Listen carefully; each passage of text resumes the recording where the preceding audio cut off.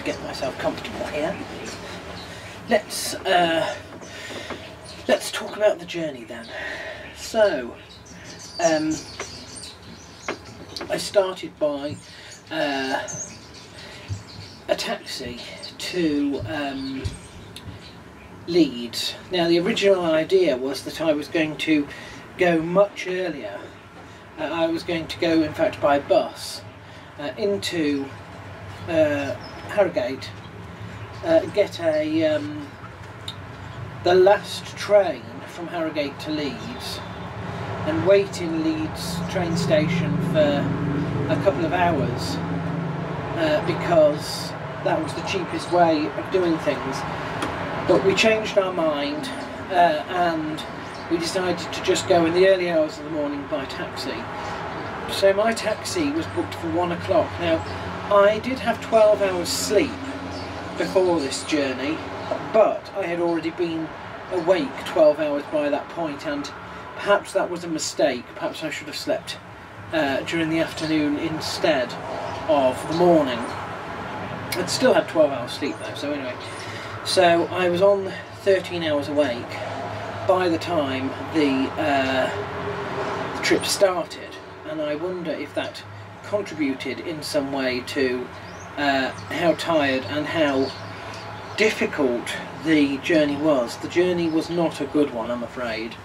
Uh, the taxi was so fine. anyway, we had a a good trip to Leeds, uh, and I got out at the train station, paid him the agreed price, which was good. I, I had been in to book that so that I knew exactly how much uh, it would cost because the last thing I wanted was it it to be on the clock or anything like that. So it was a it was a fixed agreed price which he held to so that was good. Now when I got to Leeds sta uh, train station the first thing that struck me was how different it was on any, uh, on a night to the last time I went when it was absolutely silent uh, and you had to wait outside the station for a rail replacement service if you were going anywhere uh, in the early hours of the morning. Now it's different. Uh, the uh, train station has always been open all night, but um, this was like, uh, you know, gone were the days of the uh, rail replacement services. You went in and the boards were still giving the information of the times the trains when they were leaving and the, the platforms and stuff like that. And uh, you um, already had your tickets, uh, but the ticket barrier, of course, uh, was the major obstacle between, you know, yourself and the trains, and you couldn't wait on the train platform until 10 minutes before the train departed. That was when the, the ticket barriers uh, worked. Actually, the ticket barriers were manned, uh, so there was no problem in the end. But my my worry was how do I know where the platform is once I'm through the uh, once I'm through the uh, ticket barrier. Now I had booked seats on uh, the train. This was the sort of uh, booking where, if I have my, I do have my thing. You actually had two tickets. You had a ticket that was your train ticket, and it was only valid with your uh, seat details. So my seat uh, was coach B29. Well, there were three coaches, and uh, the first one was first class, the second one was one, and the third one was two. So I assumed it was two uh, for B. Got on to find that very few people use the train at that time in the morning, and so they don't bother with the reservations.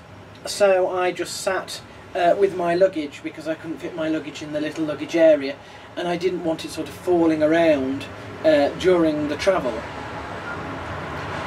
Uh, our travel was a Transpennine uh, Express which I've used before and when it gets to Manchester it then sort of diverts to wherever it's going so I used to get the one that went to Liverpool but this one was going direct to Manchester Airport after it got into the, Manchester uh, itself. The trouble with the trip, or, the, or should I say the first hurdle, was when we got to Manchester.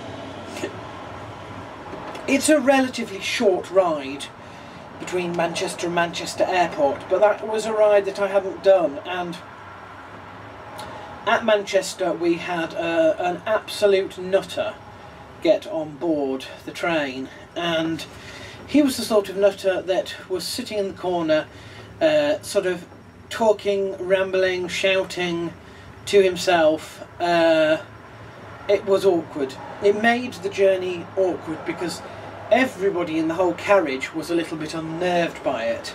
Uh, you know, it was the sort of situation where you don't make eye contact. Obviously, he was out of his head on something, and I was just hoping that he would never, you know, that when we got to the airport, he would be going somewhere else and not actually into the airport. Uh, because there is no way in hell that they would let him fly or, you know, anything like that.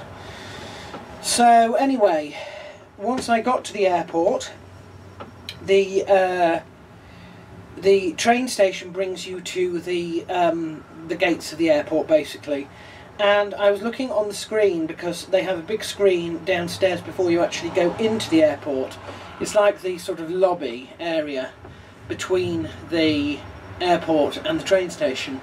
And uh, it's has a board with most of the flights that are coming on. And because I was there so early uh, my train left at about half two, so we were there by four, and I wasn't due to leave until eight. Uh, and I always do that. I always want plenty of time to get through customs and to, you know, sit in the duty-free area for an hour or two. That's fine. Uh, but it did mean that when I was looking at this board, it wasn't yet bringing up the flights that were anywhere near the time of my departure. Uh, so I thought, well, you know, what do I do? Do I go in or do I wait here for an hour? There were no seats there, so I thought, well, I'll have to go in. So I went in, and when you're inside, you're in a, uh, how do I put this? It's like raised walkways, so you must be, I don't know, 10 feet off the ground, and uh, there are three terminals, all connected by these, these walkways, and uh, when you when you come in, it actually gives you a big board, and it tells you uh, which uh, which flights are leaving from where in terms of the airlines that are piloting them. And this was the main mistake. The main mistake is that I was because I was going by Dublin and not direct to the US the British side of the uh, uh, this flight were doing everything from Aer Lingus, which was the operator. However, on all my tickets and on all my information, I was given a, a number which was UA 161 or something like that, which was United Airways. And when I got to this part of the uh, uh, to, to find which terminal I needed to go, uh, it said flights that are operated by United Airlines are from one terminal, and flights that are op operated by uh, Aer Lingus are from another terminal. So I thought, well, how do I know which one to go? Of course, there's no one to no one to ask. So I thought, well, I'll go to the uh, United Airlines, uh, the terminal that serves United Airlines first. So off I went, uh, and bear in mind that it's a good 10 minute walk from uh, from this this point to any of the terminals. Got there and they had listed all the flights that were going past the flight uh, time which I was leaving. And my flight wasn't there. In fact my number wasn't there at all either. Nobody to ask there. So I thought well perhaps I shall try uh, Aer Lingus instead because I have time to sort of walk between the terminals. So it was 10 minutes back to the the uh, the exit to the train station and then a, a, further 10 minutes to the next terminal and that terminal was even even more difficult because for this terminal you needed to be on two different levels. You needed to take a lift. The first lift took you to uh, um, terminal whatever and it was uh, it was um, departures A. So I looked all the way through there and, and there was no Aer Lingus, any anything like that. So eventually I got back in the elevator and went to the same terminal but, but the B gates or whatever. Departures B or, you know, so there was two different areas of the building from this terminal. That was where I found a uh, a gate for Aer Lingus. It was the first one I found, and of course it wasn't opening for another half an hour. But I thought, well, I'm going to have to wait here because they will be able to tell me uh, where, you know, if if it's this gate and if it isn't this gate, whether it's a flight that is operated by them or United. So I sat down and waited. No, I didn't. I stood because uh, there were no seats about. Um, really, they need to put more seats in Dublin Airport. They do.